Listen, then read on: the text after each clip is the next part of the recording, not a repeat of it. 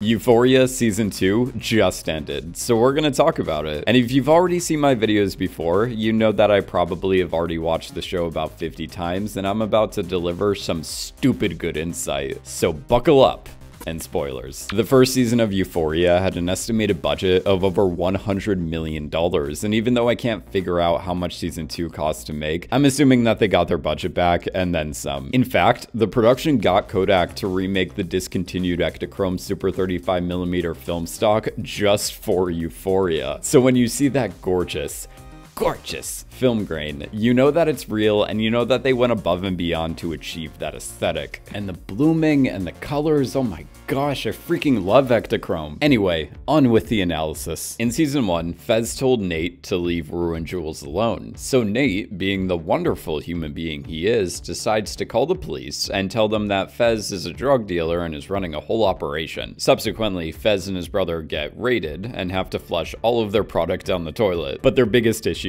is that they received that product from this guy, a scary drug dealer named Mouse. And before the Great Flush, Mouse forced a lot of his product onto Fez. So after Fez discarded of the product, he had to come up with the money somehow. Fez is left with no other choice but to rob Mouse's supplier, aka like an actual doctor. At the beginning of season 2, Custer quickly mentions that he was trying to get a hold of the doctor Fez robbed at the end of season 1. Now, I don't know exactly how much time elapsed between Fez beating the life out of this doctor and Custer saying this, but it looks like it was enough time to get Custer proper bandages and enough time for him to heal a little bit from his his injuries. Plus, we end season one with the winter formal at the end of the semester and start season two on New Year's. So at least a couple of weeks have passed since Fez robbed Mouse's supplier, meaning Custer still hasn't heard from the doctor after a few weeks. This means either two things happened. Fez ended up killing the doctor from the beatdown he gave him, or the doctor's son called the paramedics and the prescription drugs uh, that the doctor had at his house were discovered, sending the doctor to prison and causing him to lose his medical license. And just because Fez is our champion, I'm going to assume that the second thing happened and not that he killed the guy. Regardless, Mouse and the doctor were out of the picture. So the duo, Fez and Ash, needed a new supplier. So Custer introduces them to Laurie. Laurie used to be a school teacher, but found no money in it, so she became a drug dealer. And that's the only backstory you're getting.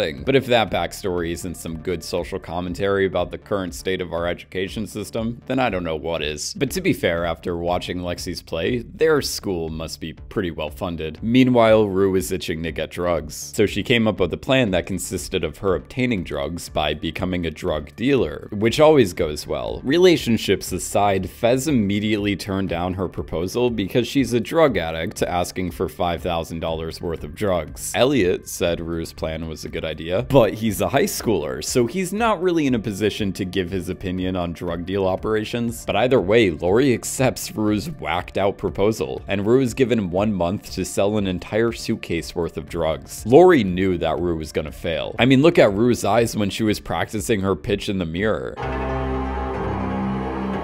Rue's plan consisted of recruiting three other girls from her high school with 3.7 GPAs to sell drugs. These girls don't exist, obviously. Then as collateral, each of their phones would be uploaded to a cloud that Rue owned. That way, if any of them snitched, it would jeopardize their entire future of them getting into their dream schools, which they aren't applying to because they don't exist. This is a horrible plan. The point is, Laurie said it was amazing, which it wasn't, and was banking on Rue failing. By the way, Elliot really dropped the ball on this one because Elliot was the one person we see Rue reveal her plan to, meaning Elliot knew where the drugs in the suitcase came from. So I don't know why he didn't try to stop Jules or Rue's mom from flushing the drugs down the toilet, because he must have had some idea of how screwed Rue would be if they literally destroyed the product. But anyway, I digest, because as is expected, Rue didn't sell any of the drugs. So at this point, she doesn't even have any money to go out and buy some. After Rue goes to Fez's place to find something to help with her withdrawal, Fez reveals that he hasn't kept any drugs in the house ever since he got raided. So we can all thank Nate Jacobs for that one. Rue, in her hour of desperation, heads to the one person who she knows has drugs, Massage Chair Woman, also commonly referred to as Laurie. Before this encounter between Laurie and Rue in the episode Stand Still Like the Hummingbird, it's important to note that Rue had one month to come up with the money that she owed Laurie. In the episode before the one where Rue acquires the suitcase, she spots Cassie and Nate together, then fast forward to Stand Still Like the Hummingbird, specifically that one moment where she reveals Cassie's secret. And Maddie asks, What are you talking about? To which Rue responds, I saw her get in his truck and then kiss him and drive off. That was like, what, like a, uh,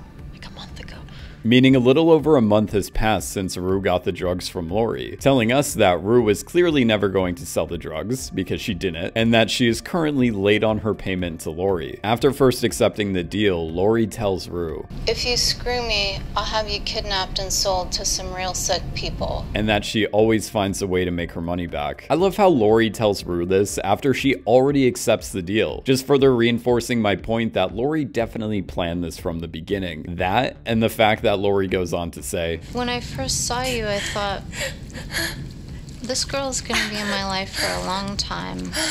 During Rue and Laurie's conversation, Laurie explains that she herself went through withdrawal. In fact, she even did her own research on opiates, as she explains that over time, all the chemicals that make you feel good start to decrease because you're getting it artificially, telling us that Laurie fully understands how desperate and helpless Rue is in her current state. But as Laurie is explaining Rue's future of destroying her brain with drugs, the camera goes down the hall and stops at this door with a lock on it. And if you listen closely, you can hear scratching on the other side of the door. There's definitely been moments in the show where like the pill bottles talk to Rue. And at first I thought this was the closet that Laurie kept the drugs in. And then like the clawing would be like, you know, Rue's need to like claw into the door and then get the drugs. But it was a completely different door, implying that there's someone behind that door. Someone who's clearly been drugged up and is currently living Laurie's threat. During their conversation, Laurie claims that the good part about being a woman is that if you don't have money, you've still got something people want. So Laurie had every intention of making what's going on behind this door Rue's future. And I think the thing to solidify all of this is the fact that Rue was locked in the next morning, with her window being locked and even the front door being locked. Yeah, Rue was definitely going to be held against her will. Oh my goodness, that's so creepy. And on top of all of this. Laurie claims that earlier in the week, she had an entire assortment of drugs that could take the pain away. However, she now apparently only has morphine and only the intravenous. But then Laurie pulls out her luggage case to get the morphine, and then we see every single drug known to mankind in there. But Laurie specifically picked intravenous and made Rue believe that she was not holding her arm steady, which Rue definitely was, so that Laurie could then make a whole bunch of injection marks on her, so that Rue would appear like a heavy user, and would lose any credibility if she tries going to the police about Laurie. Just another haunting detail about this scene where Rue's trying to escape is that when she drops the keys, all the birds start making noise. At first I was like, okay, well this is just like the editor trying to raise suspense. But then on like the second viewing, it's almost like they're trying to tell us that the birds are a way of covering up any noise that's coming from that room with the person locked in it. Using the birds the same way Brucey uses music when he's forcing everyone to strip so he could see if they're wearing a wire. The birds in Laurie's apartment and the title of the episode, Stand Still Like the Hummingbird, are no coincidence. It's clearly symbolic of how Rue, being the hummingbird, was going to be put in a cage, like the actual birds in literal cages. The shot composition right here even makes this wooden divider look like prison bars or a cage. So it's fitting that this shot of Laurie preparing the morphine is followed by this shot of the caged bird. Also, I very much appreciate how they filmed this final shot of Rue leaving Laurie's apartment. At first, when I saw the car come by, I just thought, oh, it's just to induce more anxiety. But it actually does more than that. The production of Euphoria must have been patting themselves on the back when they realized that the car could actually serve two purposes. The first one being opening the gates so that Rue can escape. And the second purpose was covering up Zendaya, replacing her stunt double. As the car moves in front of the stunt double right here, so they can pull a switcheroo. Oh god, I did not mean to make a pun. Okay, puns aside, this car allows them to make it seem like Zendaya jumped out of the window and then just continued on running towards the gate. One could even say they were killing two birds with one stone. what is wrong with me? But I guess Laurie isn't someone Rue has to be worried about anymore, because Faye kept saying that it was Laurie who killed Mouse. Custer's dead, so he can't really dispute that fact. And with the police listening in on Custer's phone when Faye was saying this, the cops may be going after Laurie, and they'll eventually uncover her entire operation. Which brings us to, oh boy, here it is, is, is Fezco safe? I don't think Fez is going to prison. And if he does, it won't be for that long. As I mentioned earlier, Fez didn't have any drugs in the house because of Nate. So the cops can't charge him with that. The murder of Custer is going to be pinned on Ash because Ash did it. And Faye is a witness to back it up. Ash's shootout with the police further legitimizes the story that Ash was acting alone, as the entire time Fez was trying to talk him down. Plus, the last words the cops hear on Custer's phone is Ash no. But Fez may be charged with trying to cover up the murder, but we'll see. The three things that could screw Fez over is that he wiped off Ash's fingerprints from the murder weapon, and he was also holding said murder weapon when the cops came in, so yeah, that may be an issue. Also the guns. Uh, yeah, the guns. All I know is that there is still that small possibility of Lexi and Fez getting their little house on the prairie, or him and Cal sharing a prison cell. Oh, also, did anyone catch that one detail during Fez and Lexi's conversation at the beginning of the finale? When Fez claims, Nobody's ever got shot at and thought to themselves, oh, thank goodness we didn't have a gun to shoot back, you know? which is exactly what ends up happening to him, where he gets shot and just wants his brother to give up the guns. In this soon to be Emmy Award winning episode, where it's revealed that Elliot and Jules were listening to the very private encounter between Rue and her family, Leslie says to Rue, You look embarrassed, Rue. You're embarrassed because Jules just heard everything you said. Own that.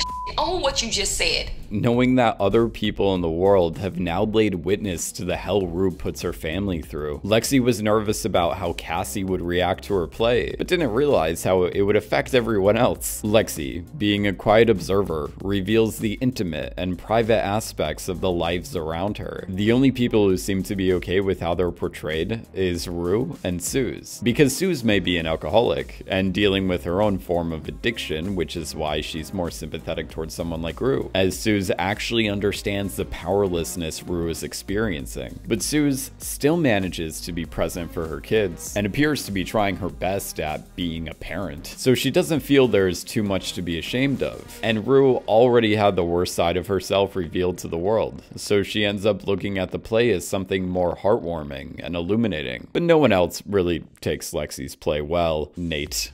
Oh, Nate. I gotta say, Nate is perhaps one of the most irredeemable characters in any of the over-the-top teen dramas that I've watched in the past eight weeks. Around the age of eight, when, to quote his mother, the darkness took over Nate, it was around the same time he discovered a bunch of CDs in his father's desk. CDs that contained videos of his father having sex with various people who are not his mother, both men and women. These recordings shaped Nate's understanding of sex as he repeatedly watched them while listening to the words his father said in them them. And Cassie was also messed up by her father. At the age of something, Cassie's dad left her and her family. Her father became addicted to drugs in the hospital and is later seen with injection marks on the left side of his arm when stealing valuable diningware from Cassie's house. Cassie is still suffering from the trauma of her father leaving and is having a really hard time dealing with these abandonment issues, leading Cassie to wrongfully seek external validation and will do anything for other men in her life to love her, care about her, etc., leading to toxic people like Nate Jacobs taking advantage of that. When we see the flashback of Lexi and Cassie getting into the car with her father, who is clearly in no position to drive, Cassie's main concern wasn't her safety or even her sister's safety, but how she made her dad feel, which tells you everything about Cassie's current state. She's willing to compromise her own safety and the safety of others to keep the affection of someone like her dad or a boyfriend. This scene with her dad reminded me of how she put herself in danger at the beginning of the season by getting in Nate's car while he was intoxicated and speeding. The night that formed the most toxic relationship of the year, as they are both suffering severely from their own daddy issues. You know what? It's important to note that Cassie was willing to follow Nate out of the auditorium when he stormed off, but Nate wasn't willing to do the same for her. Cassie says that Nate can control every aspect of her life, saying this because she just wants to dedicate her life to being loved. So Nate ends up dressing her up in whatever he wants, deciding to make Cassie a mix of Maddie and Nate and his dad share a whole bunch of parallels, starting with how they're both bisexuals, and have been keeping themselves back from exploring a life that they want to live. The main reason being the influence of their fathers. Cal's father pushed him to live a certain lifestyle, and Cal would later force the same ideals onto Nate. So it's almost wrong for Cal to be so defensive about Nate being one of the people in his life responsible for his unhappiness when he suppressed his own son the same way that his father kept him from exploring his sexuality. But I also think that that's why they hate each other so much. They're essentially the same person. But season 2 changes a lot of things. We start the season with Nate receiving a beatdown from Fez and Cal receiving a beatdown from Ash. So Cal and Nate both rock the headcast this season, which as we all know is completely intentional. When wearing his headcast, Cal comes to a revelation that he's lonely and chose to live a life that he never wanted to live. While Nate, on the other hand, has a similar revelation, but the inverse, where he sets out to take over the family business, marry Cass, and follow in his father's footsteps, living a supposedly ideal life that he will eventually be dissatisfied with. In special episode part 2, Jules was entertaining the idea of going off for hormones, a huge contrast from the conversation she had with Anna in season 1 episode 7, when Jules claims that she wants to conquer her femininity. But during her therapy session in special episode, she claims that it felt as if her femininity conquered her. Jules also expresses that she framed her entire womanhood around men and came to the realization that she's no longer interested in what men want and has this frustration knowing that she spent her entire life building her body, personality, and soul around what she thinks men desire, which would explain why in season 1 Jules has this sort of hyper feminine look, but after her revelation, she changes her style to something more androgynous. When discussing where Jules is at with her sexuality and gender, Hunter Schafer, who plays Jules, claimed, If I've learned anything from being trans for my whole life, it's that, you know, that spiral kind of never stops. I think I was at around her age when I started to understand that transitioning wasn't this point A to point B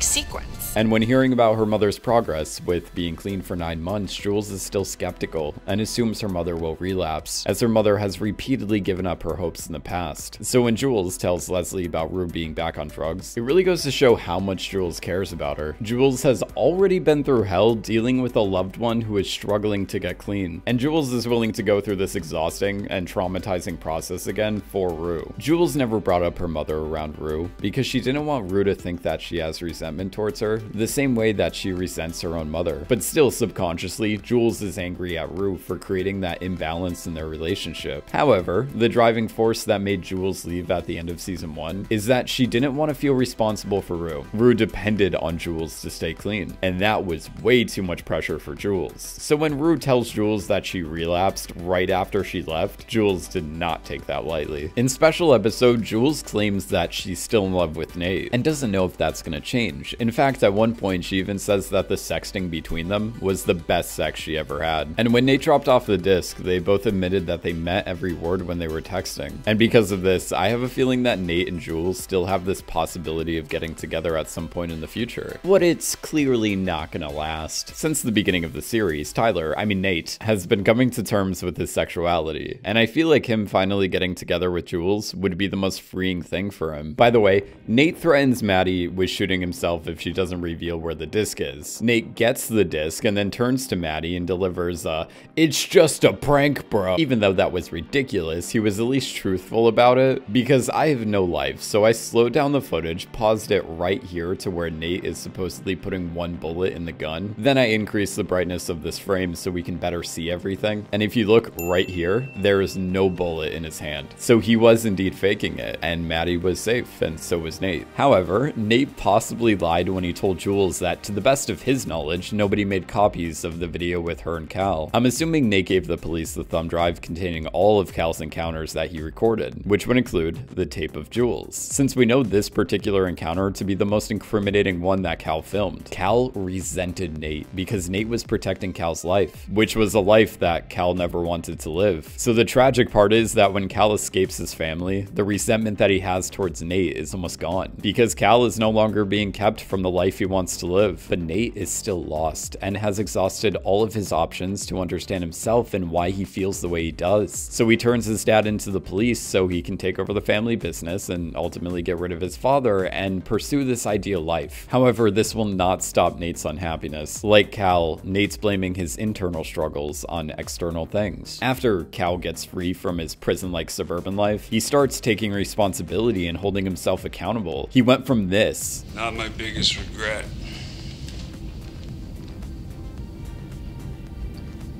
You are. to this. I fed up, Nate. I love you. And I should have protected you. I should have kept you safe, and I didn't. And there's nothing I regret more.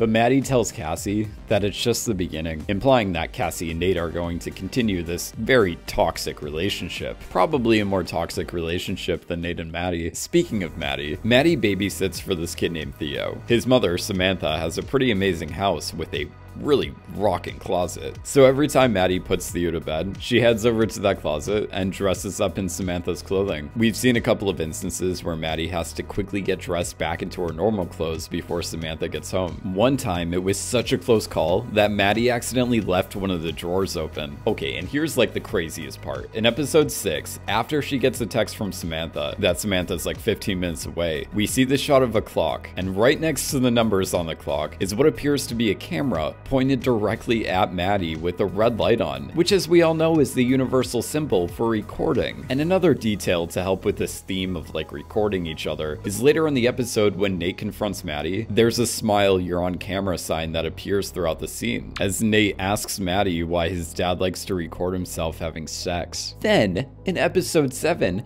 Samantha gives Maddie the purple dress from the night where Maddie left the drawer open. I honestly have no idea where this story between Maddie and Samantha is headed, but I have a bad feeling about it. Anyway, the night of Halloween, Jules found out that her mother relapsed, on top of having to do something extremely unethical and illegal for Nate, explaining why she was so distant from Rue that night, as well as explaining her reckless behavior. During the Halloween party, Jules hops in the pool and then recites Shakespeare's Romeo and Juliet, specifically Juliet's line from Act 2, Scene 2, saying, Although I joy in thee, I have no joy of this contract tonight. It's too rash, too too sudden, too like the lightning which doth cease to be. Ere one can say it lightens. Sweet good night, this bud of love, by summer's ripening breath, may prove a beauteous flower when next we meet. Some of you may be thinking, what? Which is a completely valid thought when you're trying to interpret Shakespeare in the year 2022. Basically, with these words, Juliet is telling her love interest, Romeo, to pump the brakes a little bit. She doesn't want to rush into things, and she just needs some time, because there's a lot of things getting in their way right now. In Romeo and Juliet's case, it's their two families and their animosity towards one another, and in Jules and Rue's case, it's Rue's drug addiction and Jules having to deal with Nate. Rue looks at herself in Lexi's play the same way that we as an audience view Rue. We don't see her as someone who's irredeemable, and Rue finally sees that and understands that there's still some hope for her. Lexi was worried about hurting Cassie, but sometimes it's necessary to give people a good look at themselves, like how Elliot ruined his friendship with Rue by telling Leslie that Rue was using. Because in Rue's case, Elliot ended up saving Rue from herself. Elliot confirms that he's still going to use drugs, so they're definitely going to be splitting into different paths next season. Because Rue is not going to be able to maintain being clean if she's around people like Elliot. Sam Levinson, this guy right here, wrote, directed, produced, and created Euphoria, so he has some influence with what the show is and where it's headed. Back at the 2019 premiere of Euphoria, Levinson claimed that he spent the majority of his teenage years in and out of hospitals, rehabs, and halfway houses. He was a drug addict, and he'd take anything and everything until he can hear or breathe or feel. Something that's reflected in Rue's character as she uses drugs to escape her unbearable reality only for a brief moment. Levinson took his trauma and put it into Euphoria the same way that Lexi puts her life into her play. I think Lexi's play answers the question, why does Cal record himself? Rue better understands herself from the outside looking in. She was able to work through the frustration she had with herself and was able to start a new path of change. The same thing eventually happens to Cal. Maddie, Cassie, and Nate also learned a lot about themselves by watching the story about their lives. Like Rue, Lexi lost a parent, but Lexi's way of handling it was creating something, and Rue's way of handling it was destruction. When Jules sits next to Rue after the play and tells Rue everything that she wants to hear, Rue kisses her on the forehead and then leaves without saying a word. In this moment, Rue is being strong enough for the both of them because Rue realizes that she can't keep hurting the people around her and needs to not be in a relationship so that she doesn't have to rely on Jules and can fix herself on her own. But during the voiceover, Rue gives that at the end of the episode, she said that she stayed sober till the end of the school year, implying that she will eventually relapse in season 3. So about a week and something ago, I made a poll on my channel asking the question, does Euphoria romanticize the bad stuff? Followed by the question, is Euphoria a TV show? Followed by the question, where am I? But back to the more legitimate question of does Euphoria romanticize the bad stuff? Romanticize can also substitute for glorify, and the bad stuff as in the over-sexualization, abuse, drug abuse, and all that. You can still vote by the way, just go to my community tab. At the time of recording this video, the results are 71% yes and 29% no. So it seems that a lot of people are in favor that it does romanticize such things. And at one point, one of my friends even referred to the show as godless. But what they meant by that is to them, Euphoria had no meaning. It's just pointlessly gruesome, provocative, and every other similar adjective in the book. Pure shock value and nothing more. But I'm gonna go ahead and make the argument against that because when it comes to this poll, I would vote no. And I can't tell if it's my love for this show or my sadistic need to get myself canceled before my career even takes off, but let me explain my reasoning. Here's my case defending Euphoria. I think I like TV and movies more than I like life. So out of respect for the work of art, blockbuster, or masterpiece I'm watching, I don't judge the work of art until I see it in its entirety. Sorry, this sounds so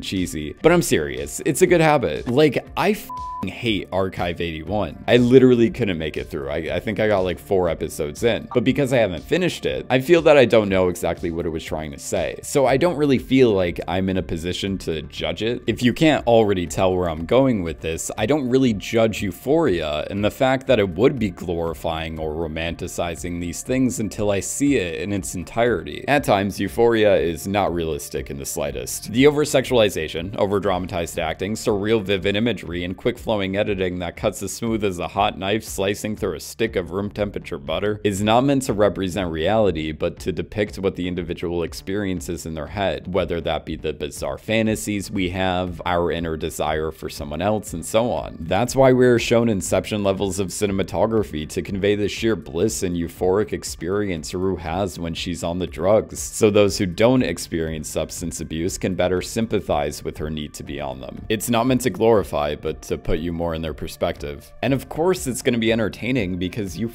want to watch it otherwise. Also, hold on, I'm not done with my original point. The point is that all these surreal sequences glorifying irresponsible behavior and toxic habits are immediately followed by the realistic consequences to their actions, shown to us in a very, very grounded way. Euphoria breaks the realism, yet manages to pull you back into the believability of it all with some of the most realistic portrayals of depression and substance abuse that I've seen since like BoJack Horseman. And I think season 2, episode 5 and 6 Stand Still Like the Hummingbird, and A Thousand Little Trees of Blood are prime examples of that very thing. Stand Still Like the Hummingbird may be the greatest anti-drug PSA in existence, as that was the most realistic portrayal of withdrawal I think I've ever seen in cinema. I think these episodes are indicative of where the show is headed. Levinson mistreated almost everyone in his life that he loved, so he fought to become clean and tried to become a better person. Euphoria is like a really big come down. When discussing his approach to season 2, 2, Levinson claimed that if season 1 was a party at 2 a.m., season 2 should feel like 5 a.m., way past the time where everyone should have gone home. Levinson has been clean for over 15 years now, ending his drug use relatively around the same age as Rue. So if Levinson is basing Rue's character off of his own experience with drug use, it's most likely that the show is going to focus on her road to recovery and end with her finally being off drugs for good. So apparently, out of all the people that watch my videos, only 2. 2.2% of you are subscribed to me. And it's like,